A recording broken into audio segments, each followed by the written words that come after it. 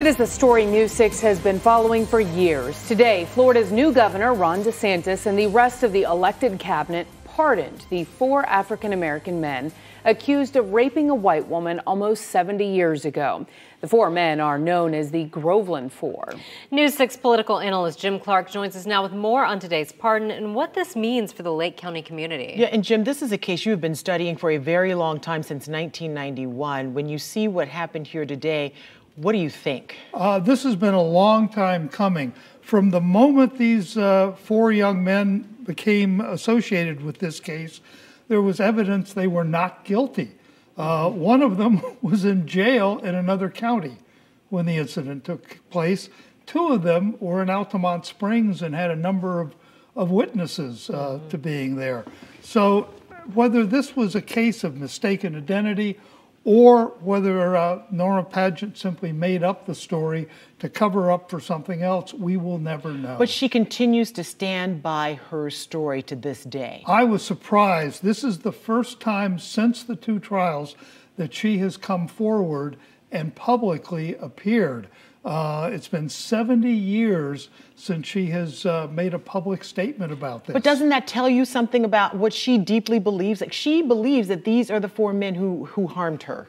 Uh, yes, and uh, I was surprised that uh, that she even even today won't admit that there might have been a case of mistaken identity. The sheriff Willis McCall might have simply rounded up four people and thrown them in jail and uh, eventually killed two of them. And given the day and age in which this happened, that was not an unusual thing to happen. That was not an unusual thing to happen. Uh, this is 1949, uh, and Willis McCall was known for his brutality. He was finally removed from office in 1972 by Governor Reuben Askew after uh, beating an inmate to death, an African American mm. inmate. So the violence continued uh, into the 1970s in Lake County. I think we were all a little surprised when the accuser showed up at this hearing and was willing to testify. But each time she has testified, of course, the last time was decades ago, her story has also changed, including today. You heard new details that you had never heard before. I did. Uh, the story about her having her clothes taken off.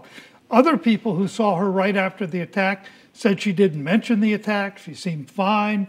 Uh, the doctor who examined her could find no evidence uh, to prove mm-hmm. that she had been assaulted. So lots of different versions of this story. So is this the end of the story? Or where do we go from here? I think so. I think that uh, she had her say, her family had their say, uh, the relatives of these uh, four young men have had their say, and I think uh, certainly the city of Groveland wants to put the violence that occurred uh-huh. there, some of the worst rioting in the state's history, if not the worst rioting in the state's history. Well, this has certainly left a scab on Florida, so much so that it is one of the first things the new governor had on his plate to do when the former governor had many years to do it and wouldn't even touch it. What does that say? I, I think it uh, shows a new day in Florida. Mm-hmm. For some reason, Governor Scott and uh, then Agricultural Secretary uh, uh, Putnam, Putnam, would not touch this. Mm-hmm. I mean, mm-hmm. they wouldn't talk about it, they wouldn't go near it. Mm-hmm. The issue, the pardon basically has been sitting there for years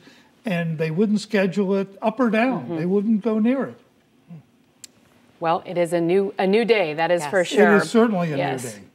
All right. Thank you so much, Jim Clark, for joining us. And of course, you're going to be back a little bit later as yeah. well. Yeah. All right. So if you'd like to read more about the history of the Groveland Four and today's pardon, we've posted details on clickorlando.com. You can look for the story. It's right on our homepage.